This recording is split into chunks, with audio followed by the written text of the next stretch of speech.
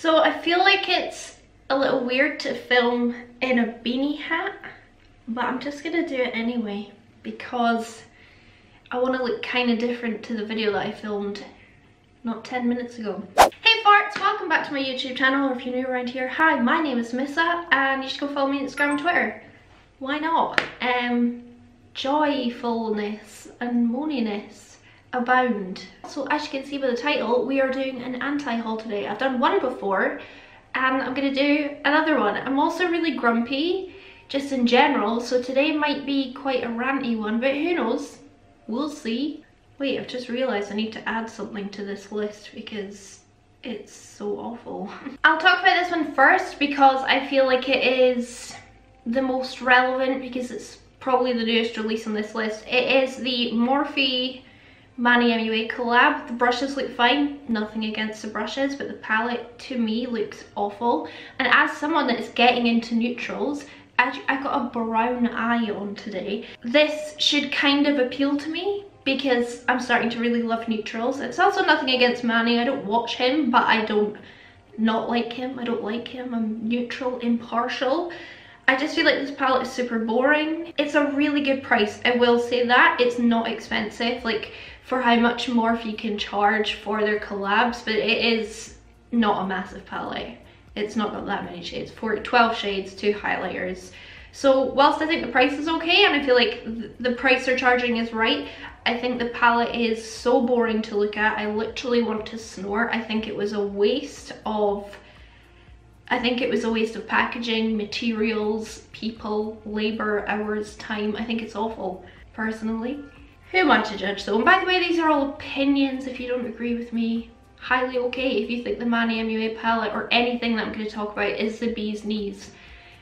That is okay, you don't need to yell at me because I probably love stuff that you hate, so let's all be calm. Actually, this next one is super relevant as well. They're really new. I think they are all sold out. It's the three new Extreme Frost highlighters by Jeffree Star. $50. Okay, $50. Look, look, look. They are so expensive. I know they come in a vegan leather box and they are Jeffree Star, but $50, oh my goodness, that's A, too expensive, and B, I really honestly feel like the trend of coloured highlighters is so over. It was probably over in 2017 or 2018. Green, blue and pink the swatches though, if someone said to me, Melissa, that is a new liquid eye glitter, I would literally swoon and buy them all because they would be beautiful for that. But I feel like even as someone that loves extreme highlighters, they are just not my cup of tea, to put it very Britishly yeah, I just really feel like that trend is over. Also, I do have one of Jeffree Star's Extreme Frost highlighters. Is that what it's called? I feel like they had a new name. Yeah, I've got a Supreme Frost in Snow Globe and whilst I like it, it is so glittery. It is very hard to use. I find that as soon as you put it on your face, like where you want to highlight, you just have glitter everywhere. And again, I am not usually opposed to that. However, I don't want green and blue sparkles all over my face, even if I want it here. I probably wouldn't mind the pink one, and if I had to buy one, I would buy the pink, but I'm not gonna buy one, so I'm not gonna buy the pink. This next one is way cheaper, thankfully, but still something I'm obviously not going to buy, and I hope they don't send them to me because they will be wasted. Well, I can just donate them, but they'll be wasted on me. It's the new Makeup Revolution, well, I Heart Revolution Bear eyeshadow palettes. Okay, I'm gonna admit, I kind of want the pink one just to put it on my like makeup shelf of cool makeup. But would I ever use it? No, even though the shades in there are quite pretty I would still never use it because the packaging looks so ridiculous. It's so wasteful. I know it's like cutesy and things, but I just feel like that amount of plastic to hold that many eyeshadow shades is it's kind of horrifying. I feel like you get 18 to 20 shades in them, which is quite a lot, but yeah, the packaging's really wasteful. The model, it's her whole hand is taken up holding just the bottom half. And I just can't justify that in my head. Like I can't be like, oh yeah, it's, it's fine when as a planet we are creating so much waste especially plastic waste which doesn't go away it sits in landfill for like 500 years and i'm starting to get really passionate about it as like a cause i just feel like makeup revolution as a brand although they are my favorite drugstore brand they must create the most enormous amount of plastic wastage and also like bad environmental toxins into the air into the water. It's just it kind of grosses me out. It really grosses me out. So yeah i really don't like the berries for the packaging. The shades look all right in some of them but but i think for most of us as adults we'd be like oh, it's a bit childish. So that's that. The next one is anything by Haus Labs this Lady Gaga launch could have been insane and I think overwhelmingly it's been mostly negative in terms of like how people think about the brand and the products. I think the products are actually okay, like they perform okay. But my goodness, I would not, if, if it was completely unlabeled and I didn't know, and then you showed me a picture of Lady Gaga, I would not join her up with this makeup brand. And especially the new palette. I was never going to talk about this before because I wasn't that interested, but when they released a palette, I was like, okay, they could really bring something to the game that's like really Lady Gaga, really appeals to everyone, is super, super beautiful. And I just think this palette is so boring, so boring. And you know that the swatches, because every brand does it, really build up their swatches to make them look as beautiful as possible. So I don't even think that they look that good. Another one is another singer turned, uh, turned into makeup owner. It is uh, Kesha Rose Beauty. It's created by HipDot I don't know if it is like her standalone brand or if she's just putting her name on HipDot branded or made makeup. Like I don't know the whole story, but anyway, the eyeshadow palette, I've got to be honest, you see if it was in square pants or like rectangle pants and in like a rectangle or square um, box, what is it called, packaging, I would probably be more interested, but I hate I hate palettes that are shaped weird. And although this isn't an excessive waste of packaging like the Makeup Revolution, I feel like circle palettes are just atrocious. In fact, I really, really, really love my, this is controversial, Kat Von D Fetish blush and highlight palette. I hate the packaging. It looks terrible in my drawer of lovely rectangle blush and contour palettes but I keep it because I love what's inside. I hate the packaging, I hate storing it. Um, so yeah, that's why I hate the palette so much. Ow! Again, I don't feel like the price is too bad, $36, but I'm not sure what that translates to in pounds, like not the conversion, I can do the conversion, but quite often it would just then end up being 36 pounds, which is worse off for British people. Um, and then the red lip, the red lipstick, sorry, um, wow, how innovative. I love red lipstick. I bought one the other day, so I don't know why I'm really complaining. The most reason I think I'm complaining is I hate the photo, like this photo. I find it quite disturbing, and when I was looking through Trendmood's comments, which by the way, where I take all my photos from, I was like, why is no one mentioning this? Like, and I spent ages looking. I don't know, I just, I'm not usually one to jump in the bandwagon of, you know, when like a really artsy fartsy photo looks a little bit controversial. I'm not usually one that's like that. I'm like, well, it's art.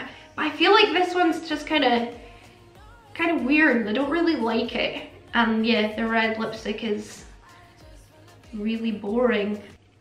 Eh. This one is probably the most controversial for me because if you know me, you know that I support this creator so much. And to be honest if I had so much disposable money or just a, a lot of disposable money that I could buy this just to support this creator I would. Like say this month I had 10,000 pounds sitting in my bank account I would buy this just to support her. But the Shaaanxo or XO Beauty Heaps of Sweets palette I can't buy and I wanted to buy it when she was teasing it when she first spoke about it like I wrote on Twitter I cannot wait to buy this to support you because it's just one of those people like, it's like how I'm a Patreon of three different people even though they all have really big channels and they do really really well. It's because I want them to keep creating and I want to always see them have new content on my feed and I think maybe that's why some of you are my patrons as well. So that's something I would buy it to support her and encourage her to keep making things but I just I am not interested by this palette at all. And I feel like all the looks that she does with it and that I've seen her do with it are really plain and it is quite a plain palette but there is like pops of purple and copper. I just don't like it and I'm gutted because I wanted to like it. But yeah I'm, I'm gutted because just spat everywhere not that she needs my money to sustain her lifestyle but just because I would have liked to support her in that way. Um, I have bought some of her lashes in the past. I've not tried her brushes though. This one is just, I'm going to slip in here really quickly. It's by a brand called, alright hold on, let me find the picture on Trendmood. Can you imagine being Trendmood and getting the amount of makeup that she gets like every day? I would probably be really sick of makeup to be honest. Yeah, so this is um, Pop Sockets, the brand, it's called Pop Sockets and it is a $15 refill $3 pop socket. I've got a phone ring, not a pop socket, but I'm sure you know what they look like and you can see the picture on screen. Inside of it there was lip balm, like tinted lip balm. I am sure most of you are like me and when you go to the toilet for an extended toilet break, you take your phone unless you've got poo books, which my parents have, I don't have a shelf for poo books. So I take my phone and you know, you open up the toilet seat then you sit down, you play on your phone, and then you wipe your bum, and then even if you wash your hands, can you imagine opening the flap on your phone, taking your dominant hand, wiping it in lip balm and smearing it on your lips, even going on a bus and then doing it, opening any door in public, doing it, pulling out a chair in public, touching anyone's hand, doing anything, you would have to sanitize your hands with hand sanitizer before being able to use the lip balm. People don't, not everyone carries around hand sanitizer. I don't because I always lose it. I think it is one of the most gross concepts on the market. Most people agree with me on the trend. Trendmood comments. Well, it's unsanitary. Neat idea, but like communism only probably only works on paper. This post made me spray my phone to disinfect it.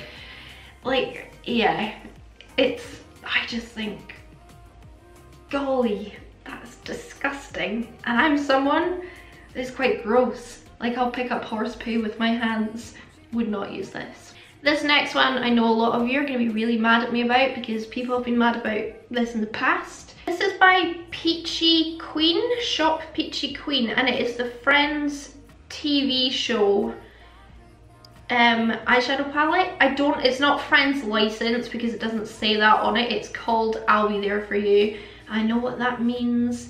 I've never watched Friends ever in my life. Like I've caught snippets of it here and there, but I've never watched a full episode. I wasn't allowed to as a child or growing up.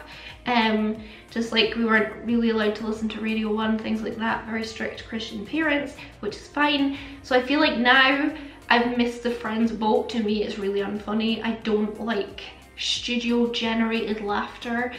I think it hides the fact that most of Friends isn't funny and I know I'm offending most of you right now and it's okay if you want to take out your frustration on me but I think Friends is poo and so I think this palette is crap. Even though I think the, the colours are kind of nice, I feel like just with another palette I'm going to talk about as well as for another reason. We are very tired of rainbow palettes. Most of us who wear brights and fun colours are color fatigued. I think that's how Beauty News described it. It's like rainbow fatigue. There's too many out there and all of us have at least one, if not a few to be honest. I feel like for the next while, brands should really steer clear of rainbow palettes because most of us have them. This one is the same as the Friends one in my opinion, just with the kind of rainbow fatigue. Fatigue? Why did I say it like that? I don't know. Anyway, it's a Unicorn Cosmetics Totemic, Totemic, Totemic palette. I don't know what that means. It's got 10 shades in it. Brights, brights, brights, one brown. I really like the look on this model with the pink lips, but A, bright fatigue, and B, the packaging disgusts me. Not the, not the drawing on the front, I think that's really, really cute, but the, the packaging shape is super annoying and gross. It's not gross, but it's really annoying. It'd be a pain in the bum to store. This is the last thing I'm going to talk about, and this is kind of... I'm putting it in last because it's kind of... I really don't want it, but at the same time, I kind of really want it. It's the Lorac Artistry book. It's got 48 shades in it, and it's $39.99. So whilst I've been moaning that I have rainbow fatigue, I feel like this palette is, it looks really similar to my Beauty Bay Mitchell palette, just with a lot more options. And if you know me or watched my favourites, the Mitchell palette was my favourite one of the year. This is, it's got all the neutrals and the deep tones, but it's also got the brights and it's got some really fun looking shimmers, kind of like the Huda New Nude shimmers. The reason I want it is because A, it's similar to my Mitchell, B, there's so many options, and C, it just looks like a lot of fun. But the reason I don't want it is because it's 40 pounds and yes, you get almost 50 shades in it. However, I don't know if any of you are like me and when you first kind of started playing with makeup, you went on eBay or Amazon and you bought La Lorac branded like cream contour kits and things like that. They were like £3.50 I'll try and have a picture up on screen to show you what I mean and maybe it'll jog some of your memories, although I'm sure some of you will remember.